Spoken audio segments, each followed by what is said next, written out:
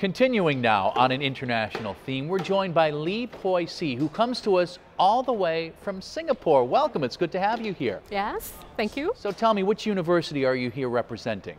Yeah, I'm from the Nanyang Technological University in Singapore, and I'm from the School of Material Science and Engineering Department. And we were talking about how big of a school that is. How many students are attending? We have almost 33,000 undergraduate students and um, um, several tens of thousands of postgraduates with uh, research uh, staffs. And what is your role at the school? You teach, don't you? Yes, I'm an associate professor there, and I'm also an associate chair for research in my school. And what types of material sciences are you focusing on at your school? Right, um, materials are very important in the whole university. It's like a platform for um, a lot of uh, research activities that are ongoing. Um, our focus mainly is on advanced functional materials, uh, which is dealing with uh, biomaterials as well as biomedical devices. And one another key trust is on uh, nanomaterials for sustainability, which includes water, as well as uh, energy management.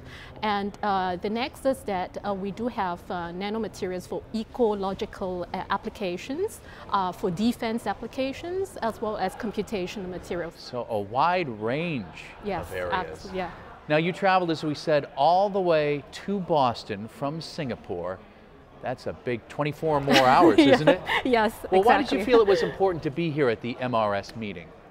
Well, um, first of all, because I'm one of the co-organizer in uh, one of the symposium of this uh, MRS for Boston, and uh, secondly, I often uh, do attend a conference uh, organized by MRS, and um, this is one of the largest uh, conference, and um, which is where people from over all the world would meet, and um, fellow scientists, eminent professors would be all here, and it's very um, a, a refreshing to capture capture some of the new ideas, exchange uh, the latest best practice, as well as we would be able to network with uh, uh, existing collaborators or new uh, researchers as well. Now you mentioned you're an organizer for one of the seminars. Tell me which one and what's it about? Okay, the symposium is on uh, semiconductor nanowires, uh, focusing on optical and electronic uh, characterization.